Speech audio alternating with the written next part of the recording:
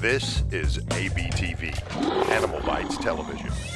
For animal lovers, by animal lovers. Hey, Brian from SnakeBytes here. Today I'm going to travel to Southern California to Triple L Reptile where they have some amazing animals. You're watching SnakeBytes.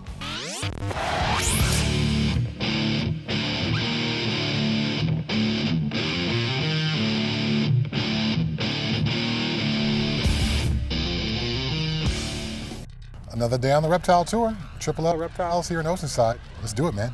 Been looking forward to this. So Lauren, just tell me what was the origins of Triple L? Um, well, back in about 1995, I got my first leopard gecko as a pet. Never really was a reptile guy per se at that time, but this one animal just kind of drew me in and started breeding it. Got more and more interested in it, and from there I started to kind of breed them and mass produce, not mass produce them, but breed them for more for a hobby and uh, just started to see the potential of where I could take this animal in terms of my interest in business at the time. From there, started to attend some trade events and about two and a half years later after acquiring this first leopard gecko, decided to venture off and, and open my first pet store here in, in Oceanside, California. So everybody's familiar with Triple L Reptiles, you know, the online store, but there's lots of facets to this business, correct? Yeah, we are the biggest portion of what we do is online, um, but we also have four retail stores here in Southern California, uh, two warehouses that do most of our online business, and in the recent developments in the last three or four years, we've actually got back into breeding, kind of found our roots again, yeah. and are producing and, and reproducing a lot of different kinds of animal species, and not just one particular animal type. We kind of do frogs, lizards, chameleons, we're kind of doing a little bit of each segment. You guys know that I'm really a colubrid guy at heart, and Triple L has some pretty amazing colubrids, and a few of them have really caught my eye. But I tell you what, this one is completely blown me away. This is actually an albino Chinese beauty snake. Now, to be honest with you, there's a handful of albino beauty snakes out there. This one came from my cohort in crime on this California trip, Chad Brown. What an amazing animal it is. Now, the Chinese beauty snakes are a pretty large colubrid. Not the largest of the taeniura subspecies, but, but still getting six or seven foot long so this one still has a little bit longer to grow and the eggs are absolutely enormous. The other thing that's kind of interesting about Chinese beauty snakes and all the beauty snakes for that matter is when the eggs are laid, they're really hard compared to a normal colubrid snake. But I tell you what, anyone that doesn't think that this is a stunner must be a complete moron. Another beauty snake right here. And this one's kind of the opposite color than an albino. Now, this is a Vietnamese blue beauty snake. And to be honest with you, it kind of looks axanthic, but believe it or not, this is a naturally occurring color phase of it. It's just got that steel blue thing, and I just love the Orthriophis completely are amazing. Look at how he's a little bit sketchy, but that tongue is always a little bit slow. And again, you gotta be a little bit careful because these guys are definitely face biters. And see how he's kind of blowing up his neck right now? That's a defense mechanism. That's gonna just basically scare off any predators. Whoa, what an amazing animal. Again, you can see he's definitely fired up. You don't wanna get too close to that guy. So, just put him away. Whew.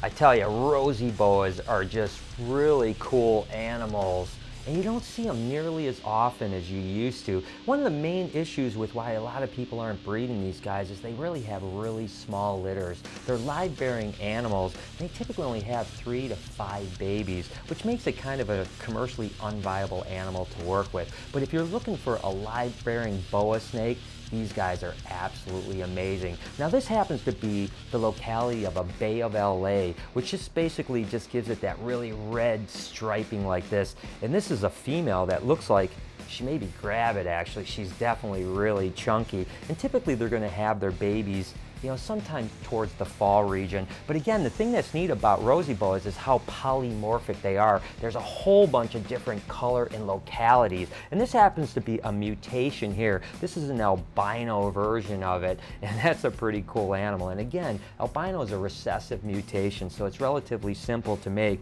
but look at how cool that is. I just absolutely love those little triangular heads like that. I mean, what a cool animal. And again, this is an adult size right here. They're not gonna get any larger larger than this. So they're really kind of that apartment size animal. And really another truly cool color phase here. You gotta always watch out because these guys are definitely really food aggressive. This is actually what they call a Trivirgata or a Mexican version. And again, instead of the red, you've got this really chocolatey look to the stripes. What a cool animal, huh? So if you're ever looking for a little boa, rosy boas could be your choice. Now this is one stunning animal here. Now I've always been a Pituophis fan. This happens to be a bull snake, but it's a hypo-stillwater, which is just a mutation that is lacking the majority of the black, but not all of the black, which just gives it that almost albino appearance, but the little bit of melanin that's left or black pigment just peeks through enough to give it almost a purplish hue. And this particular mutation is my absolute favorite of the bull snakes. Now bull snakes can get pretty darn large, I've seen them almost nine foot long, and I've had clutches myself in the mid to upper 20s, which is pretty awesome. And they'll double clutch. So when you get a good eight foot female, she could have up to 50 eggs in a year. And when they come out, they're nice and big and really feisty. But I tell you what, I am completely in awe of this hypo stillwater. Triple L Reptile has one of the largest online reptile and supply websites on the web. What year did their website launch? A. 1996, B. 2001, or C. 2005? Go ahead and answer down below in the comments and check back later in the show to see if you have the right answer. For this week's Reptile Report, we'll be highlighting Pangea Forum. Go ahead and check out the URL down below or click on the link in the description. So Jen, we're finally where I'm comfortable and that's surrounded by animals. So what are you going to show me? Uh, well, we've got a ton of really cool stuff here. My favorites, and I'm pretty sure you like these too, are the big blue tongues. We can go check those out. Oh, I'm going to start with that. What about you guys? Laura and I are going to check out the poison arrow frogs. You guys enjoy your little amphibians. Yeah. Checking out some cool reptile stuff. All right, so what do you got for me? All right, so we've got a ton of different blue tongues. I really love them, so I work with different locales. Over here, I've got all my Meraukes. So let's check them out. We can check out this big girl. One of the first girls we had here that was gravid Ooh. and had babies. Oh my gosh, look at that thing. That is gorgeous. So she... So tell me a little bit about the Meraukes. The Meraukes are from a very specific island locale in Indonesia. Uh, because they are an Indonesian species, they like it tropical, they like it humid. What you'll notice is that these compared to the northerns, which are the other common pet one, is that they've all got bark bedding, we've got sphagnum moss, I've got right. lots of foliage in there. I found one of the biggest things that helped me maintain them, especially the large group here. Uh, they all are housed individually and they all have lots and lots of foliage in the cage as visual barriers. They're very shy, they don't like being messed with a ton. Okay. Um, so the most important thing I found was to let them feel safe and secure as you can see, she's super mellow oh, yeah, friendly. totally, yeah. But in the cage, she definitely wants to be able to hide, so lots of visual barriers. What's the average litter size for something like this? It seems to be very similar to my northerns, and okay. all of my northerns had very small first clutches. Right. And then second clutches started getting up into double digits. Oh, really? Okay. Close to 20. A little bit bigger babies like the northerns as well, or are they all about the same? All about the same size. They all kind of come out like these. just pull out a baby out of your out of your uh, pocket. That's uh, that's that's normal, I guess. And this is a little baby Merauke, or no? This, this is a northern. The oh, okay. Meraukes are actually her babies are all too big now to fit. Oh yeah, to fit in your pocket, but you just carry those around like. Yeah, they like it. They're yeah. really cute. These ones are actually we've got a couple different groups here, but I actually breed them at home too. So I brought okay. in my own babies to add to the group here and okay. expand it at Triple L. So this is one of mine from home. So they're. It's absolutely gorgeous.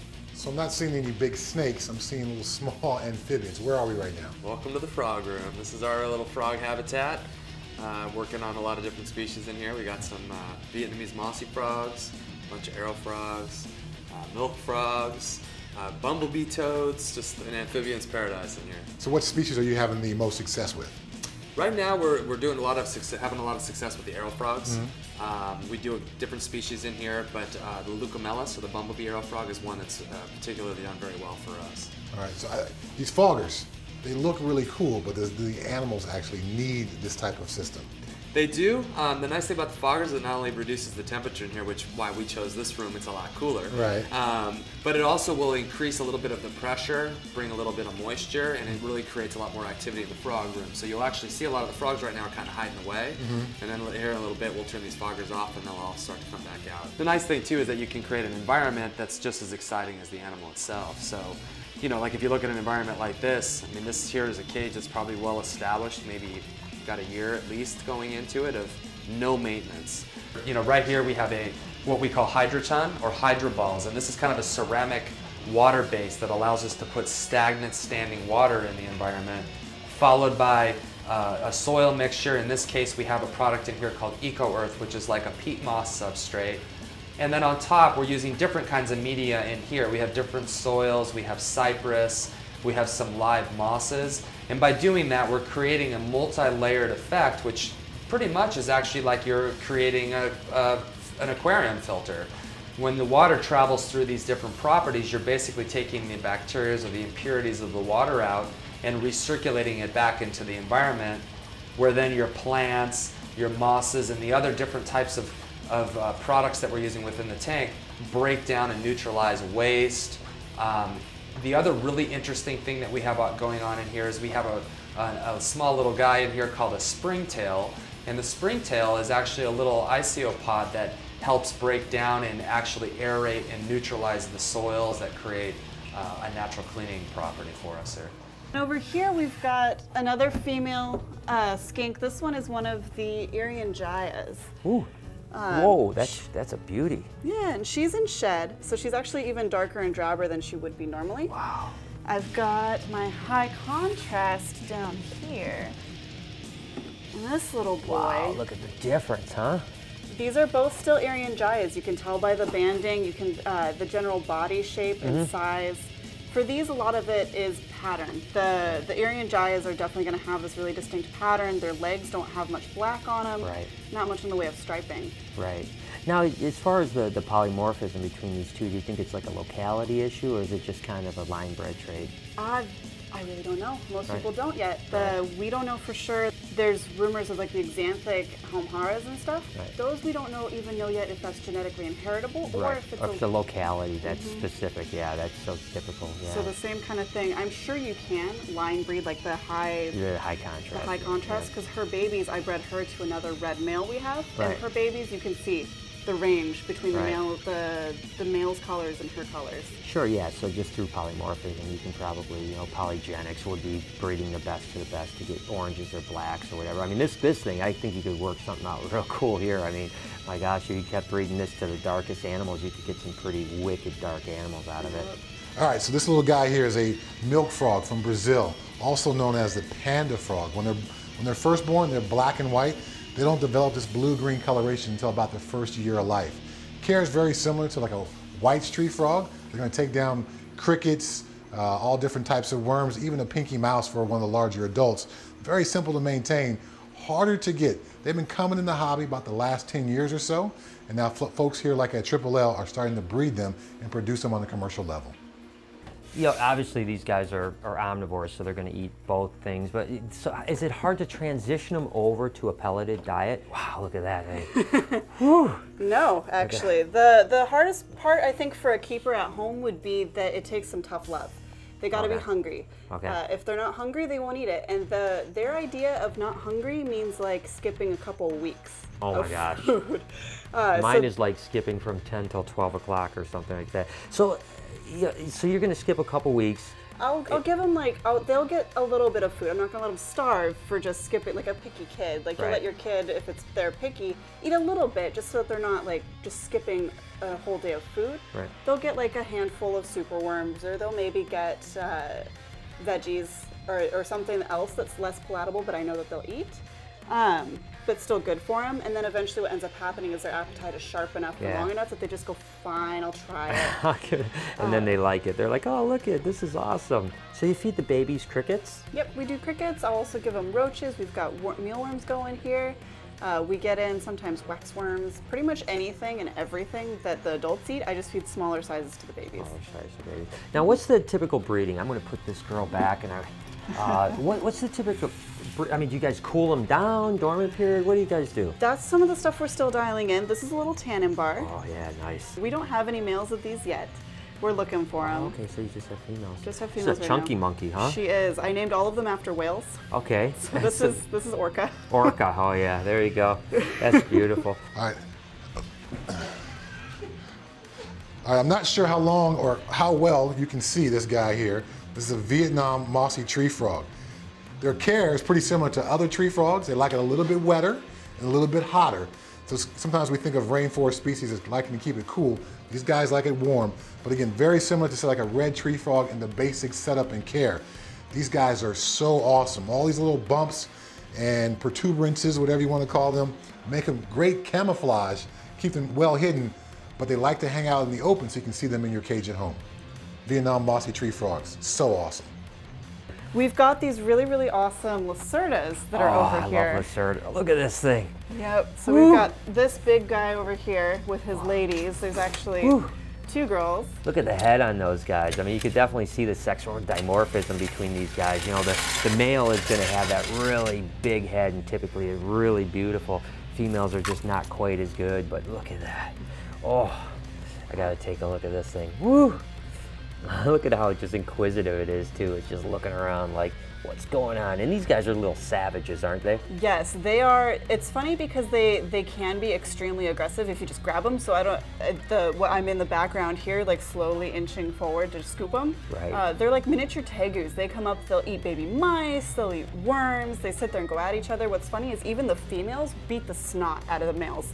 If they the female doesn't want him, she lets us know, and she will hurt. She'll they can hurt each other. That's So the way women are yeah, you know, we're overall. picky. We're very so, picky. so have you guys had good luck breeding these guys yet? Uh, not yet. We haven't. I think uh, we've actually got cl- a couple clutches that were in the incubator. I know we've had several clutches laid. Uh, we kind of missed the the window the first year. It was kind of weird uh, trying to brumate them. But yeah, they're now that we've got them cycled for this area, uh, they're definitely starting to pair up and get ready to go. They're obviously really healthy and really. Oh my gosh, they look incredible. They're Now so look at that thing right there. Whew. Now, if that isn't a little prehistoric looking animal, I don't know what is. I love all the species of geckos, but if you're gonna love geckos, I think you have to love the king of geckos the most. These Leachianus are so awesome. Here in my left hand, we've got a snowflake Leachianus, and it's called that because of the white markings down the backside. Now this Pine Island over here in my right hand, these are also awesome because they have this kind of overall pink wash. So Leachianus, awesome by themselves, but now people are starting to isolate populations and actually breed for different morphs and mutations. And this snowflake is just an example of how Leachianus will be looking in the next 10 or 15 years. Awesome, incredible animals. Jen, these are absolutely incredible. You hardly ever see them, and you look fantastic, by the way. Um, tell me a little bit about these guys. These are typically, they're not your typical bearded dragon. No, these aren't even bearded dragons at all. These are a cousin called uh, Rankin's dragons, or henrylawsoni is the scientific name. We're working with a group of them. We've been kind of slowly expanding. Uh, these are our oldest animals in the group, and they are definitely at breeding age. We've been seeing some interesting copulatory behaviors. You can kind of you start seeing a difference in head shape and size as they start to get mature. Their behavior is slightly different from a beardy too. These guys are definitely a lot more like smaller, calmer, checking stuff out. Uh, the spikes are shorter. Uh, you can even breed them for, for red coloration. So the idea was, well, you never see them. We're going to raise up a group group and produce them. Pretty much, that's how 99% of the animals showed up here. We don't see too many of that, and then Lauren sends us 10. So Lauren, I I really want to know your take on this one thing. You talked about, you know, seeing the person that bought their first anole and eventually they might be in a booth next to you at a reptile show. We're kind of a unique business in the fact that a lot of times we kind of nurture our customers to become our competitors. What do you think about that? Well, we only not only customers, we also buy from the people that we're also selling next to. Um, s I think the kind of the cool environment about our business and not Triple L, but in, as the industry as a whole, is that we have that. We all have that common bond, which is we sell pets, we sell reptiles, we bring people in. Um, so it, it is interesting to see that, but in a weird way, I kind of look at it as a is a compliment in a way that these people who maybe didn't know anything about a reptile, I've now built them up to maybe making a mom and pop operation or maybe even bigger. But us as a company, speaking for Triple O Reptile, you know, we are very um, heavy into the supply side of the business. So I'm all for any animal that can be sold in, into people's hands, getting them their first pet, because we really want to encourage and help them with the supply side of what we do, which is the biggest portion of what our company does. I tell you what, this guy definitely doesn't want a kiss from me. Tell me about this beautiful, beautiful animal. This is one of our breeder panther chameleons. We've nicknamed him King Arthur because he's the biggest, coolest, prettiest chameleon here. Uh, he definitely has a lot of character to him. He was going to get your finger. Uh, this is uh, one of the most popular pet chameleons, and one of the reasons we started carrying them is we just like to be able to. What we're working on doing is making it so people can see the sires of the stuff Yeah. that we're producing. Uh, some of the babies sit there and pick. Uh, we've got some stuff in the works so where people can actually pick the pairing. Oh, We're going to start making that a contest so that people can actually uh, vote on what chameleons they want to see make babies and see what the babies turn out like. So tell me a little bit about the care of uh, the, the panther chameleons. Uh, panthers are relatively easy for a chameleon. You want to give them lots of space, lots of humidity. Uh, one of the biggest things that can get underestimated with these is humidity. Uh, you got to spray them at least a few times a day. What we actually do is we have drippers on all of these. Uh, in the stores, we use foggers. Look at he's like, I am going to get to your face and I am going to bite you. yep. Uh, they do well. Uh, I set up a big, uh, one of the coolest things that I've ever seen and that I see work really, really well is a European style care for these is you set up a huge glass terrarium with front opening doors, the Exo Terras. That's important because of the ventilation. Yeah. Uh, but you set them up and you can do big rainforest vivariums. I set up my dad with one of these with a big waterfall. His chameleon has never looked so gorgeous. Really? Uh, so they do well in that kind of stuff, but the big thing is space. If Yeah, you're doing space. glass, it needs to be a huge cage. Yeah, yeah, definitely. Yeah, you can't have that lack of ventilation. It's- It's, Exactly. really a problem. And of course, the thing, you know, some of the characteristics are the fact that they have those independent eyes. They move so slowly. And of course, most people think that chameleons can change color. The truth is, they can lighten and darken. They can't actually change color. But uh, this guy is just eyeballing me like you can't believe. He is He's after like, your face. He is like, just get a little closer, and I'm going to take you away. Wow, this is a. I tell you what, King Arthur, it's one cool dude. I've kept reptiles since 1989, but believe it or not, I got my first chameleon just six months ago. And I absolutely love these things. A lot more maintenance, daily maintenance than a snake, but a lot more reward as well. Snakes don't come nearly as colorful or with, or with the same amount of personality. Panther chameleons, don't get too much more awesome than this. So Chad, how'd it go, man? Man, Lauren showed me some awesome frogs, some Vietnam mossy frogs, some milk frogs, and you know I love Leachianus. So what I'm hearing is that we got to see the cool stuff, snakes and lizards. We got to see the cool stuff. Okay. Yeah. Well, Lauren, this place is absolutely incredible. Thank you so much Yeah, for having I'm really us glad out. you guys could come out. And this was Thanks, awesome. I awesome to appreciate show you it. guys around. Yep, I'll shake his Jen, hand as thank well. you. Yep. See All you guys. Let me head you out. All right. Triple L Reptile has one of the largest online reptile and supply websites on the web. What year did their website launch? If you said A, 1996, you're 100% correct. Good job.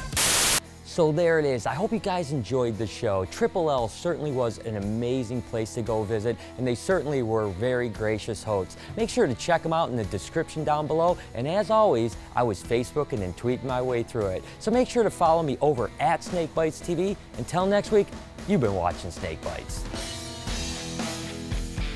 Hi, I'm Peter Birch, an Aussie bloke who loves wildlife. My respect for nature started when I was a young boy in rural New South Wales. Since then, it's exploded into an obsession. New episodes every Thursday